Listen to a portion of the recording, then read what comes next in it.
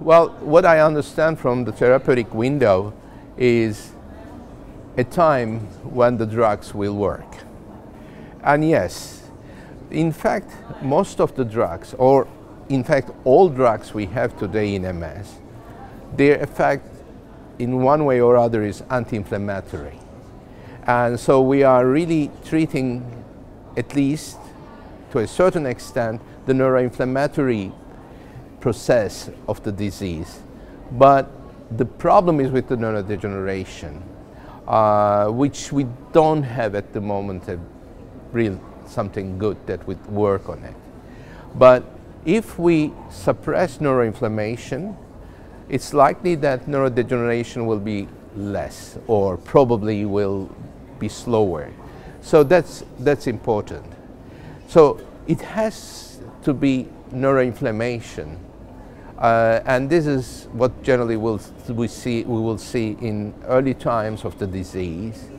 And we follow this through what we call either MRI activity, so the appearance of new lesions, active lesions, enhancing lesions, and also relapses. And if we see this, yes, this is what we may still call the therapeutic window where either this or that drug may work.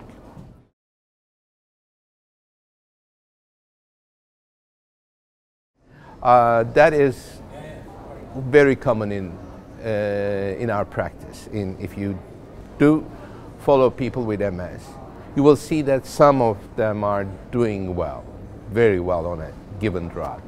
But some continues to have some uh, relapses, MRI activity.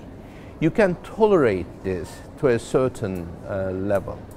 So we call the concept no evident disease activity, or as the Barcelona group introduced, minimal evidence of disease activity, where you, have, you can see one or two lesions, but nothing really significant, where you may continue with the same drug. But if the patient is having a new relapse and have a number of new lesions, that means that probably not that the drug is not working, but it's not working well enough. And if we have something stronger, which we do now, it might be the good time to switch a drug. One other uh, way to switch drugs is because a drug is working but it's causing side effects and the patient cannot tolerate it or you don't want to continue the risk. So that's another reason when we would switch therapies. And certainly we keep hearing about our from our patients who are on injectables who want to switch to orals, uh, which, which is easier maybe to go on with. But generally my approach would be if they are doing well on one drug, I wouldn't like to switch.